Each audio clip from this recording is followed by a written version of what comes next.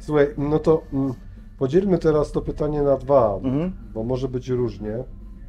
Utwór, którego jesteś dumny pod względem zagrania partii bębnów i realizacji całościowej. Yy, Może, Mhm. może będzie tak, że to będzie jedność, a może będzie tak, że, że niekoniecznie twoja partia bębnów jest tak dobra jak realizacja. Nie? No bo, no bo to, to Wiesz może co? być wspólne, a może być po, Powiem Ci tak, ciężko mi będzie y, wybrać jakiś utwór, natomiast nie chciałbym, żeby to brzmiało nieskromnie, ale jestem naprawdę bardzo zadowolony z na pewno dwóch ostatnich płyt proletariatu, bo tam z racji tego, w jaki sposób nagrywaliśmy, że graliśmy te ślady, rejestrowaliśmy w sali prób, w prostych warunkach, ale to, to strasznie nam dało, to słychać w nagraniu, że, to, że my tam gramy jak, my tam gramy jak na koncercie, tam po prostu nie ma, graliśmy z proletariatem, robiliśmy nagrania jeszcze wcześniej, y, jak zacząłem grać, tak, no to już jest prawie 30 lat. Jakieś tam popełnialiśmy nagrania w studiach, y, gdzie byliśmy tylko muzykami.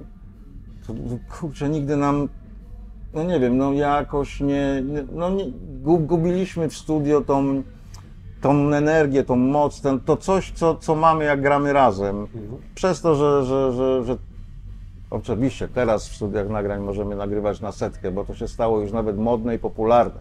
Natomiast w momencie, kiedy jeszcze te 10-20 lat temu, no to studio to było laboratorium, tak? No, tu bęben do klika, już jak, wiesz, ja pamiętam czasy, jak się, jak się nagrywało, na szczęście, ja pamiętam te czasy i sam nagrywałem na taśmę, gdzie edycji praktycznie nie było. I trzeba Można było skleić. No można było jedynie skleić, ale edycji poszczególnych uderzeń czy, czy, czy, Nie. czy partii nie było. Jak zagrałeś, tak było. Albo zagrałeś bardzo dobrze, albo zagrałeś średnio, albo zagrałeś 40 wersji i któraś wyszła, tak? I, i, i, i właśnie w kwestii tego, tego, tego nagrywania w studio, z proletariatem nam w studio jakoś nie, nie zazębia, no ginęła energia, ginęła, no. Zagrałem bębny z, z, tak, gdzieś tam z jakimś pilotem, jeszcze do tego klika, no nie wiem, nie, nie, nie, nie, funkc- nie, za, nie zażerało to i, i powiem szczerze, że właściwie z takich produkcji, y, które nagrywaliśmy w studio, nie wiem czy, czy, czy, czy, czy bo tak, Made in USA właściwie to była pierwsza płyta, którą ja zrealizowałem, jeśli chodzi o proletariat i którą nagrywałem. Właściwie od początku do końca ja się tam zająłem dźwiękiem. Ja może nie jestem z niej bardzo za, zadowolony, jeśli chodzi o całość, o brzmienie i tak dalej, ale to, to też było, kurczę, nie wiem, 20 lat temu. To było dość dawno i ja byłem w zupełnie innym miejscu, jeśli chodzi o um- umiejętności i o wiedzę i doświadczenie, jeśli chodzi o realizację dźwięku. Yy, Także, także no, ta płyta jest dla mnie takim, takim, no ona tam jest sobie. Natomiast na pewno, tak jak mówię, ostatnia, czyli oko za, yy, ząb za ząb, oko za oko. Jeszcze jest recykling, którego nie miksowałem, ale nagrywałem ślady. Nagrywaliśmy to yy, sami. Tą płytę chyba Adam Celiński nam zmiksował. Yy, Natomiast ja wtedy jeszcze nie miałem za bardzo nawet y, możliwości technicznych do, do zrobienia miksów, bo, bo Mhm. na dzień dzisiejszy no, jest u siebie w domu praktycznie robię miksy, mam, mam warunki do tego, żeby, żeby, żeby sobie odpalić sesję i, i mam pokój, w którym po prostu zajmuję się tylko i wyłącznie dźwiękiem. Wtedy tego nie miałem, także, także jeżeli chodzi o, o te płyty, utwory, no utworów ci nie powiem, nie mam tak, nie mam jakiegoś y, takiego dla mnie jest, dla mnie każda płyta z tych, o których powiedziałem, jestem z nich zadowolony. Mhm, W miarę po całości. Także, także tak, tak, tak to wygląda.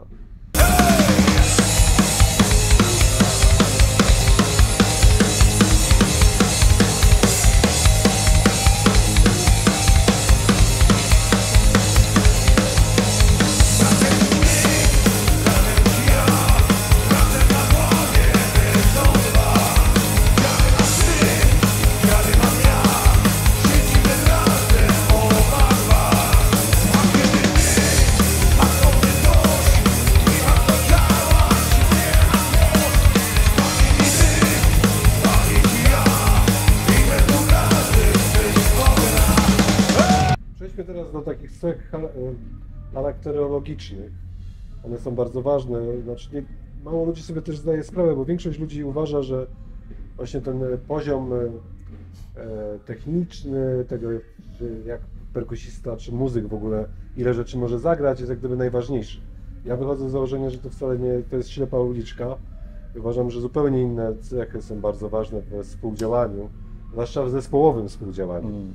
I na pewno się ze mną zgodzisz w tym zakresie, że kwestie charakterologiczne, to w jaki sposób współpracujesz, jak, jak jesteś pomocny, jak potrafisz w bardzo trudnych sytuacjach, bo takie się przecież zdarzają, zespół to jest drugi dom de facto, a czasami nie, dla niektórych pierwszy. Więc po- opowiedz może ludziom, którzy zaczynają swoją drogę, którzy, którzy chcą e, tworzyć zespół, którzy chcą e, pracować jako muzycy, co, takie, co takiego jest najważniejszego we współpracy z innymi ludźmi w zespole. He. Myślę, że tak. Pierwsze, co mi przychodzi do głowy, co mnie też nauczył mój starszy kolega i to się w moim życiu sprawdza. Jest to dzisiaj, czasami mnie to wkurza, że, że, że hołduję tej, tej, tej, tej kwestii, ale to jest bardzo istotne. Punktualność. Nie ma gorszej rzeczy niż jak się umawiamy na próbę i ten, który z reguły jest punktualny, stoi pod salą prób pół godziny albo 40 minut, no nieraz w mrozie, w deszczu, a jeden gamoń, no ma tak, że się spóźnia, no, no i, i jeszcze do tego uważa, że się nic nie stało.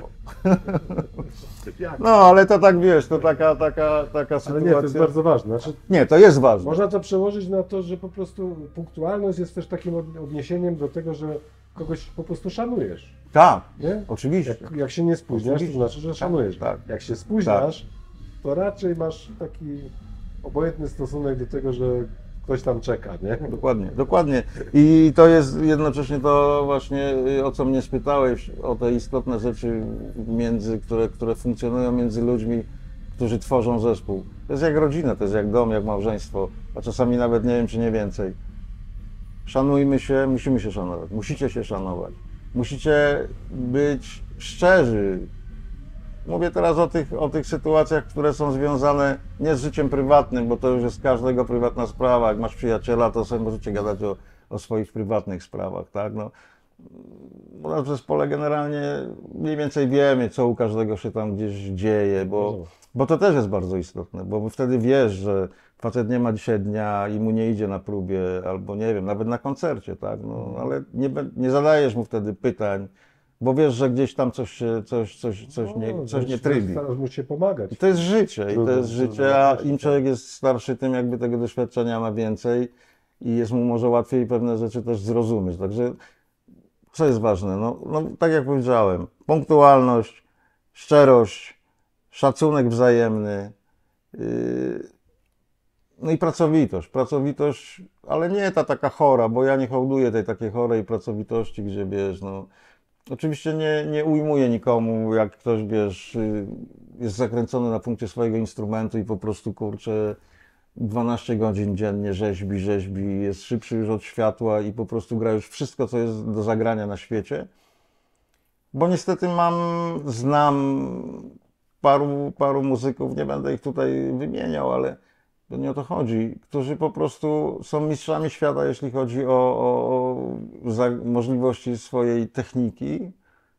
Natomiast jak przychodzi co do czego, że trzeba w zespole, czyli w czterech, czy w trzech, czy w pięciu chłopa, wziąć instrumenty, powiedzieć, no dobra, to co, dobra, raz, dwa, trzy, cztery, cokolwiek gramy, cokolwiek. I nagle się okazuje, że ten człowiek na przykład mówi, no ale jak, ale co gramy? No normalnie, no kurwa, improwizujemy, nie wiem, no nie, zagraj to, co masz w sercu. A okazuje się, że tam w sercu nie ma nic.